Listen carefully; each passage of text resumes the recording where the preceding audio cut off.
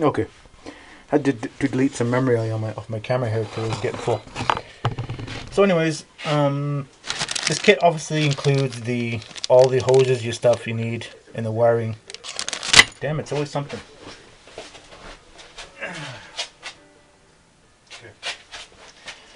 Radio and all this crap. Anyways, it comes with hoses and wiring, everything you need for it. And those tips and all sorts of stuff you need in here. It's really good. The detail in there. So, but yeah, it's all good reference for what I- for what I'll be building. Look at these tires. I'm probably gonna end up um, making some of these out of wood as well, and um, we have to make uh, wood rims too. But as you guys know, with the heavy duty trucks, what like to build all the time. Oh, an example. You guys know what kind of stuff I like to build here. An example in front of me right now. But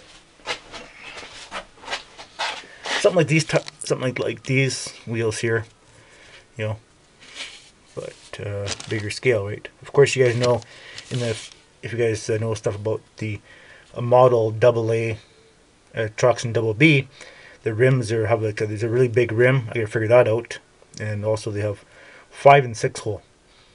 So I gotta make those, and I'll be making that detail in wood. I'll give myself wood lathe and cut out the wheels. But they're huge, huge, huge, huge. So yeah, it's almost bigger than the donut I had earlier. Yeah. So I mean, obviously the front, is the rear. So that probably would be maybe a truck tire might be taller than that. I would think. I have to do some research and do some measuring to figure that out. So big model, big book. So yep. He's a big one. Big frame. Look at the frame this thing, eh? It's massive. Massive frame. Some stuff out of the way. That. So, big massive frame on here. And this frame I'm going to have to modify as well. And the engine. Um, it's a flathead engine, I think. I think it's a flathead engine. This one. Yeah, I think it is flathead. It's a flathead engine. But I want to build a. Uh, is it a flathead? I don't know. Flathead in this one or not. No, this is. This is not the. Must have another parts and pieces here for a flathead, I think. Um,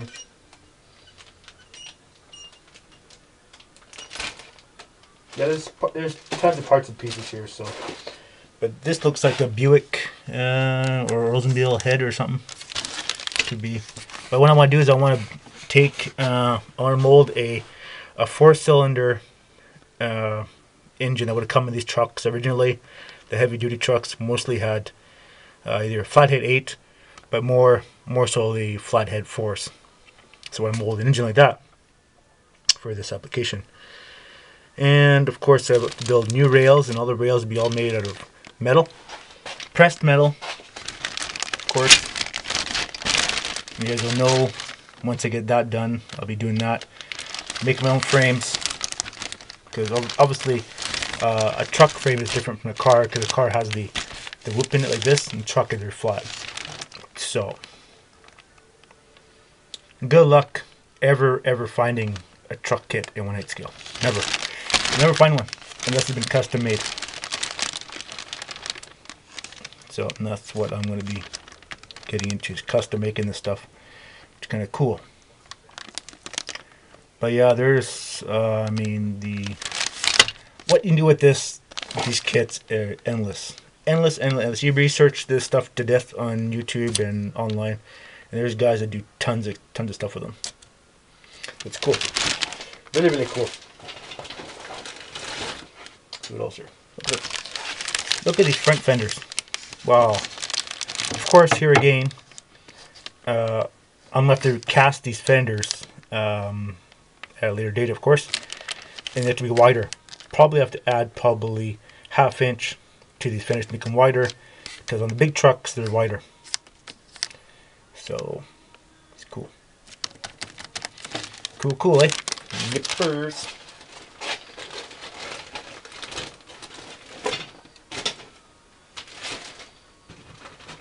So what else we got here? Oh yeah, here we go. Here's the flat-headed block. So that's cool. You got two blocks in here. So yeah, flathead V8. I knew there was in there. And look at these rims. Wow, man, that'd give Sheldon Roth a boner. No, maybe, maybe, maybe had one many years ago. Uh, anyways, um, yeah, look at this. I mean, these rims are high detail, eh? And this is a good, good source of information for me because uh, this is a 1 8 scale, and then when I build my truck truck rims, I think they were. Uh, I'm not exactly sure, but they're probably two or three inches taller than the uh, 15. So they could have been uh, 16 or 18 or something like that. I have to do my research on that. But this is good. This is good reference for that. And obviously, building a, a one-ton truck, uh, lighter duty uh, truck, these would be great reference, great, great reference too. So yeah. So yeah, it's cool. Here's the firewall.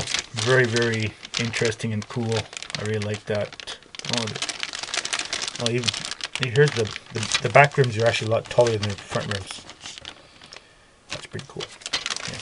Cool, man. Very cool. Very, very cool. Well, here's the here's the interior panels for the coupe here. Um, yeah, but this is this is a good reference point here too because when I build my sedan body, I'll get the model to show you guys. Oh man, never prepared here.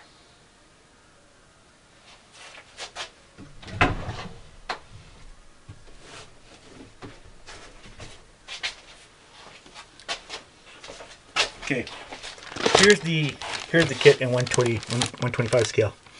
Okay, the sedan. I want to make this kit also. I want to build a sedan body too. I want to do it in the fenderless and fendered, but also I want to do it in the heavy duty as well. Um, if you guys know the Minicraft kits, Minicraft come with a panel wagon. I want to do the same thing and have no rear window and have the doors in the back. I want to do the same thing in the 1 8 scale.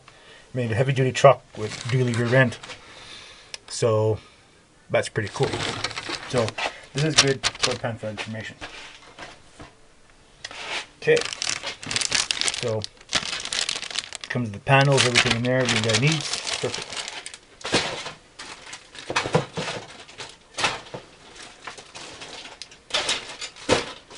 Now the good shit.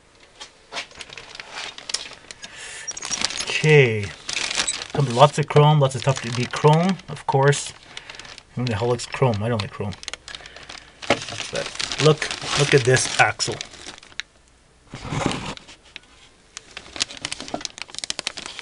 Your rear spring, the front axle. Of course, this is going to have to be all modified for my application. And I'll be making my own uh, straight axles too, out of metal. So, that's definitely pretty cool transmission, have to cast that. All that good stuff, of course.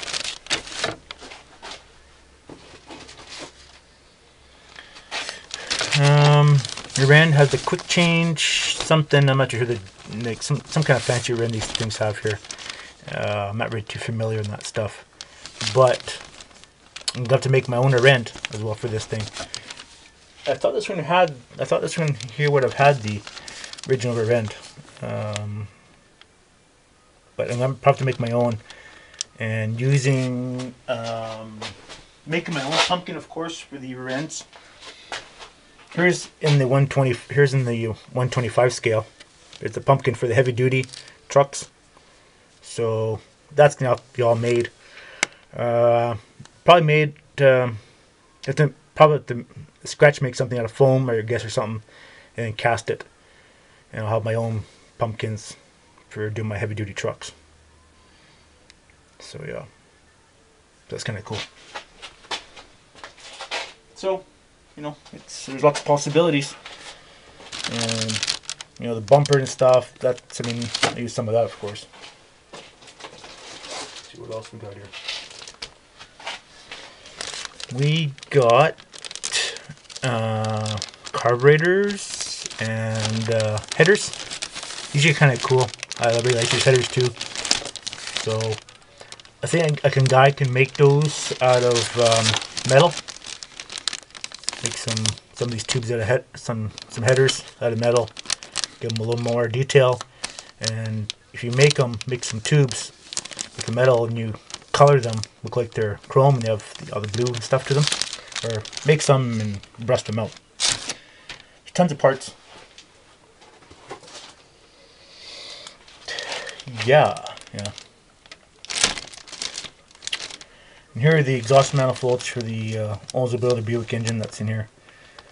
So all the parts, headlights, headlight buckets. I might end up making some out of uh, metal or wood. We'll see. So that's kind of cool. That's a good stuff in there too. Yeah, there's just so many parts. So many, so many parts.